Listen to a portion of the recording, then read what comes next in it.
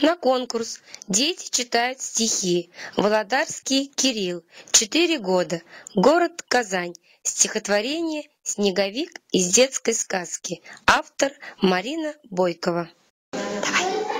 Раскачалась детвора, накатала писара, друг на друга и сазы, и ветрона гомозди.